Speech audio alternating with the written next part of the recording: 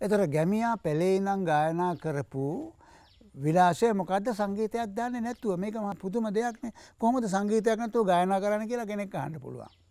සංගීතයක් දන්න නැතුව ශිල්පයක් දන්න නැතුව. ඒක එන්නේ භාවමය ප්‍රකාශනයක් හැටියට ඔහුට වේදනාව කියන්න විදිහක් තියෙනවා. ඔහුට පණිඩයක් කියන්න ඔහුගෙන් අජන්මයෙන් ආපු විදිහක් තියෙනවා. පාරම්පරික උරුමච්ච විදිහක් තියෙනවා. දැන් හනේ කියලා කියනකොට ඒක වේදනා සහිත හැඟීමක් ප්‍රකාශ කන. ඒකෙන්ම කියන්න පුලන් නොයකුත් අර්ථ තියෙන. හනේ කිව්වොත් දේනක් තියෙනවා. හනේ අනේ කිවොත් සමච්චලයක් කරන්න පුළුවන්. අනේ කිවොත් එහෙම තව එක. එක එක හැඟීම් ප්‍රකාශ කරන එකම වචනයෙන්. එක නිසා දැන් අපි කිව්ව සින්දුවකදී අනේ ඉතින් අපි දෙන්නට මේ තුන් සරණේ සරණයි කියලා.